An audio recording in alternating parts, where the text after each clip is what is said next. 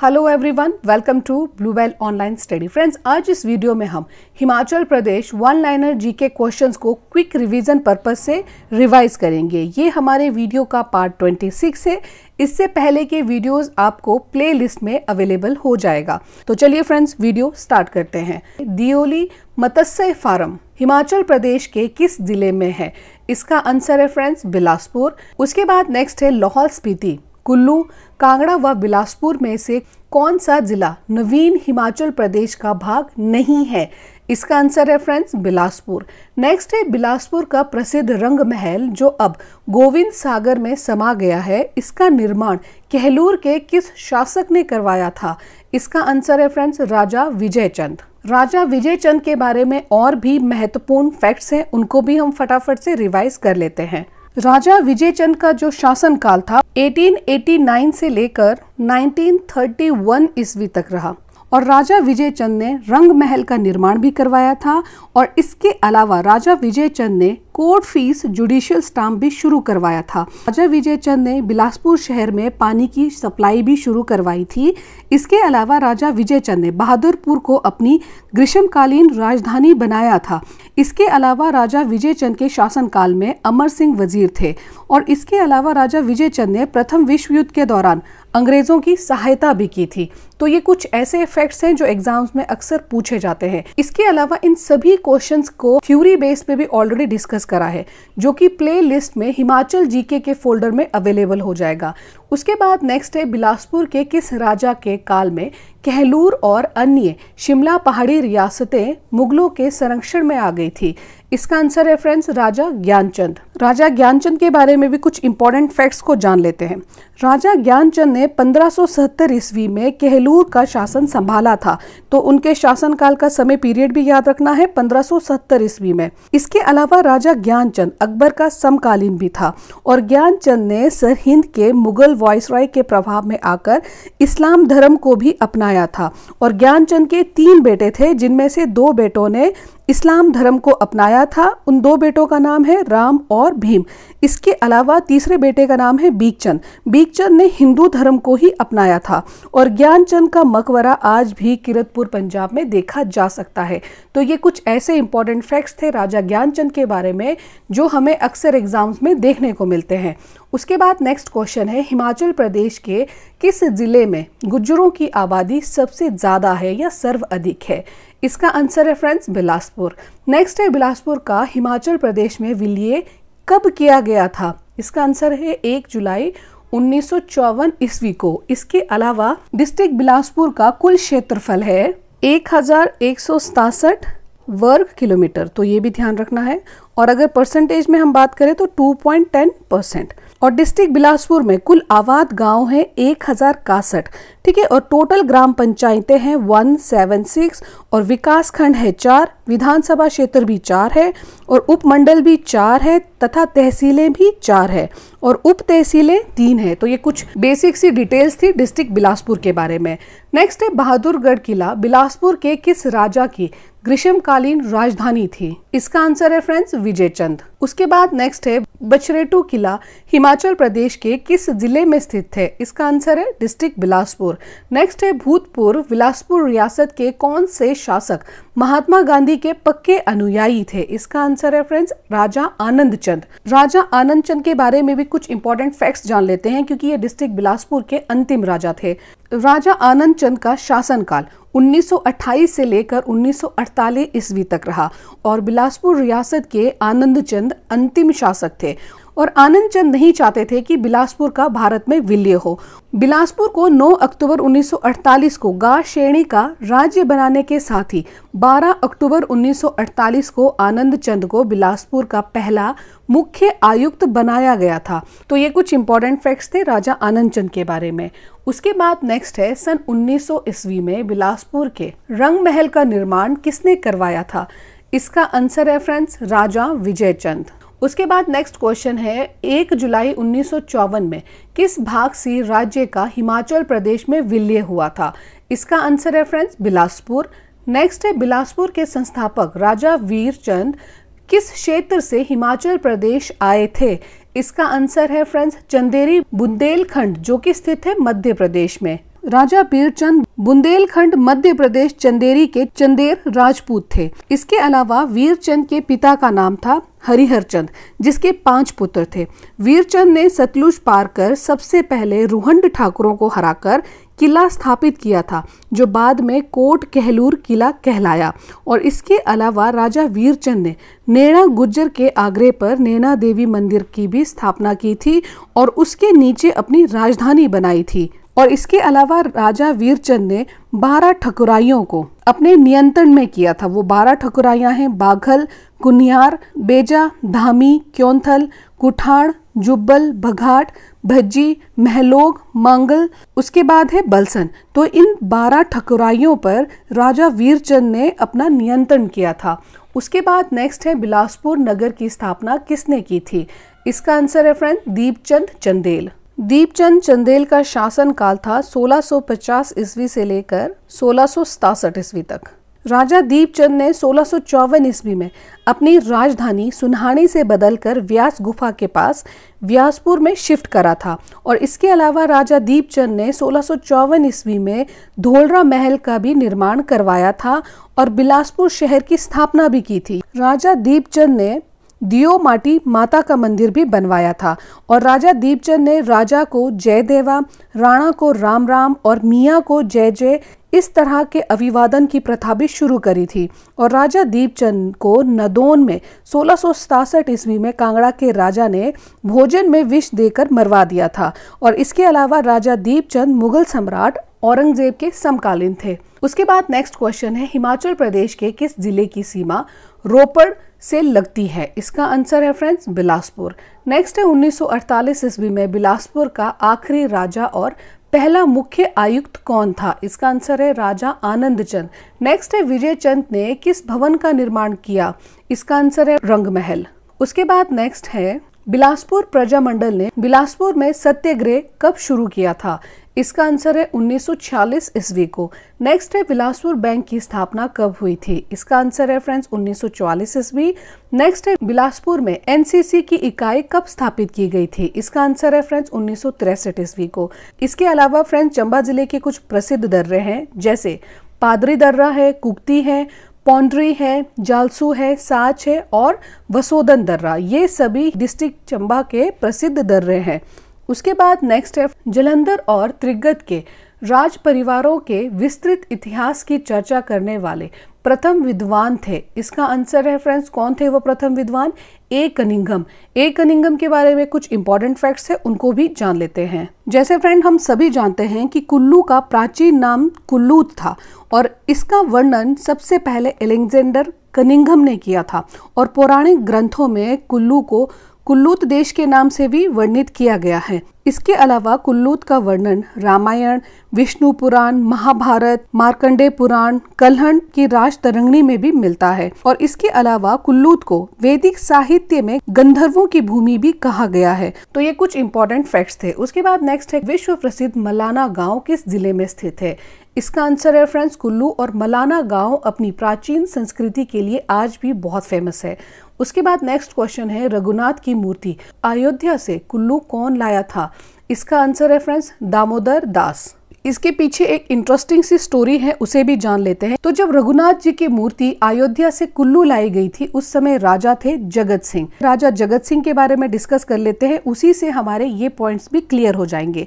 राजा जगत सिंह का जो समय काल था, शासन काल का, सोलह से लेकर सोलह ईस्वी तक था, और राजा जगत सिंह को कुल्लू रियासत का सबसे शक्तिशाली राजा माना जाता था, और मुगल सम्राट औरंगज़ेब ने उन्हें कुल्लू के राजा की उपाधि से सम्मानित किया था। और इसके अलावा कुल्लू के राजा जगत सिंह ने 1640 ईस्वी में दारा शिको के विरुद्ध विद्रोह किया था और सोलह ईस्वी में उनके फरमान को भी मानने से इनकार कर लिया था। और इसके अलावा राजा जगत सिंह ने टिपरी के ब्राह्मण की आत्महत्या के दोष से मुक्त होने के लिए राजपाट रघुनाथ जी को सौंप दिया था और राजा जगत सिंह ने सोलह ईस्वी में तो ध्यान रखना है कि राजा जगत सिंह ने सोलह ईस्वी में दामोदर दास, जो कि एक ब्राह्मण थे, उन्हें रघुनाथ की प्रतिमा अयोध्या से लाने को कहा था और उसके बाद राजा जगत सिंह ने रघुनाथ जी की मूर्ति कुल्लू में स्थापित करके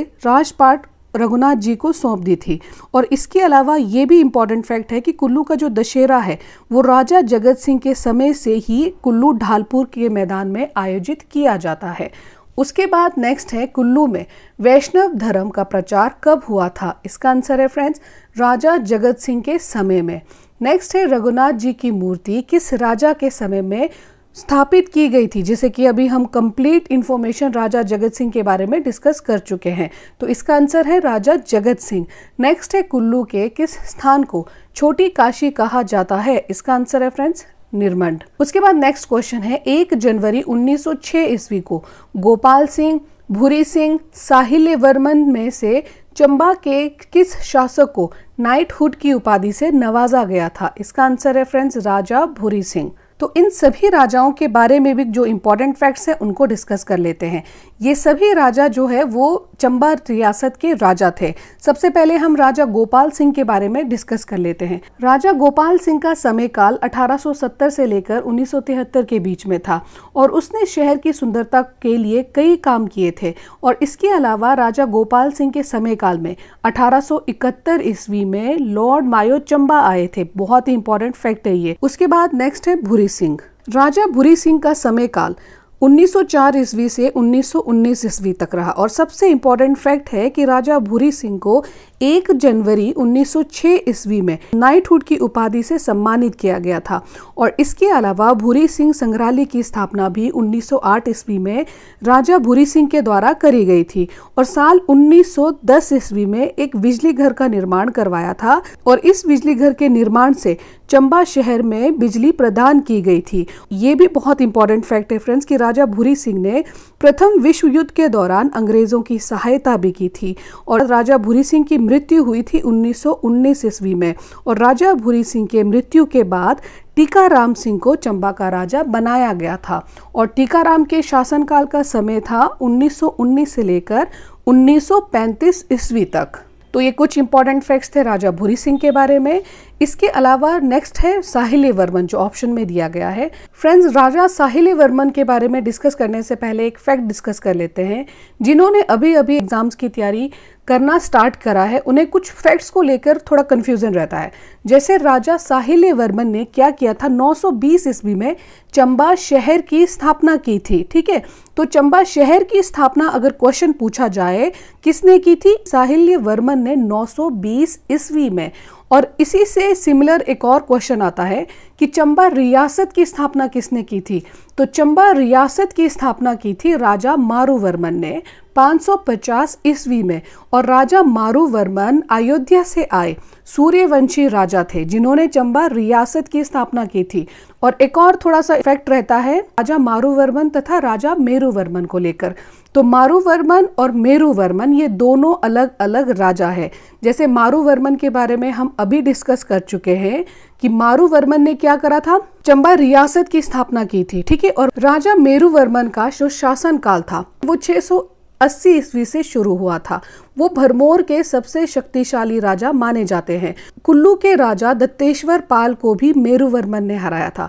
तो ये तीन राजा है जो डिस्ट्रिक्ट चंबा की जब हम स्टडी करते हैं तो इन तीन राजाओं में थोड़ी सी जो पॉइंट्स है, उसमें थोड़ा कंफ्यूजन रहता है। इसके अलावा डिस्ट्रिक्ट चंबा को हमने बहुत ही अच्छे से एक एक राजा और कंप्लीट डिस्ट्रिक्ट चंबा को थ्योरी बेस पे हमने डिस्कस करा है। वो सभी इंपॉर्टेंट फैक्ट्स आपको प्लेलिस्ट में हिमाचल जीके के फोल्डर पे अवेलेबल हो जाएगा, जिसमें हमने डिस्ट्रिक्ट चंबा को कम्प्लीटली डिस्कस करा है। तो वहाँ से आपके डाउट्स और भी अच्छे से क्लियर हो जाएँगे। तो अभी हम राजा साहिल्य वर्मन के बारे में डिस्कस कर लेते हैं। राजा साहिल्य वर्मन ने 920 ईस्वी में चंबा शहर की स्थापना की थी, ठीक है?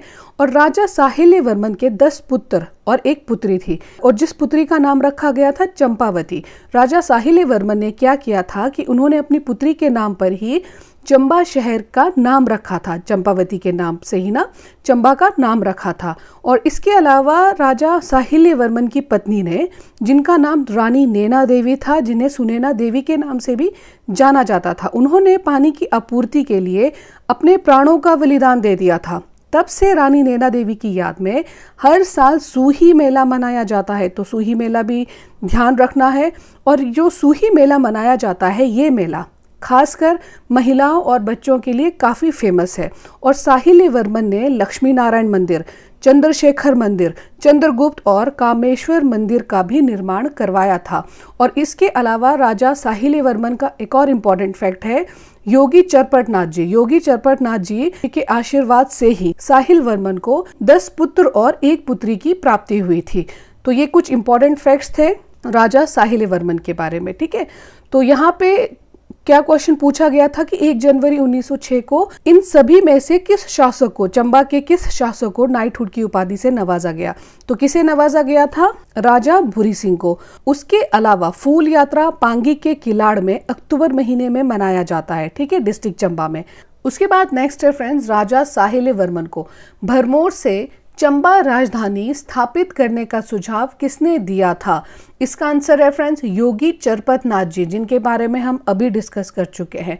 इसके अलावा पुराने समय में भरमौर को ब्राहपुर के नाम से जाना जाता था।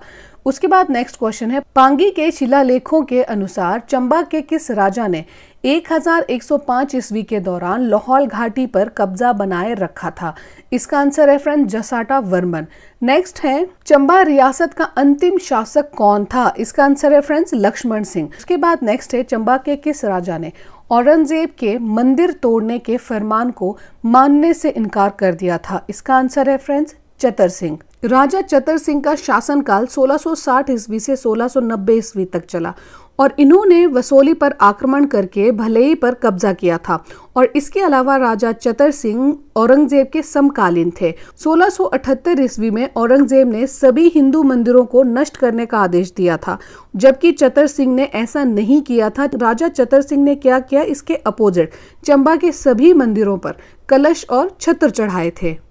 उसके बाद नेक्स्ट है, चंबा रियासत के किस शासक ने सर्वप्रथम वर्मन उपाधि का प्रयोग किया था? इसका आंसर है राजा आदित्य वर्मन। उसके बाद नेक्स्ट है, सोलह ईस्वी के स्वतंत्रता संघर्ष में चंबा का राजा श्री सिंह ब्रिटिश सरकार के साथ था।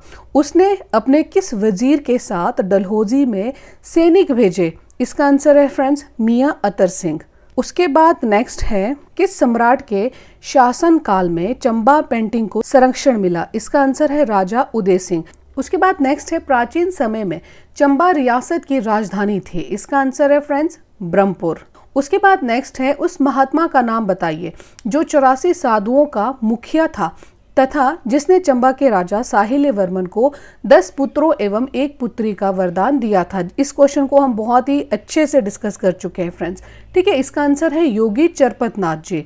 नेक्स्ट है, जातिगिरी पर्यटक स्थल किस ज़िले में स्थित है? इसका आंसर है चंबा। नेक्स्ट है लक्कर शाह ब्राह्मण किस रियासत से संबंधित था? इसका आंसर है चंबा। नेक्स्ट है, अजीत सिंह मेमोरियल कहाँ है? इसका आंसर है पंचपुला डलहोजी में।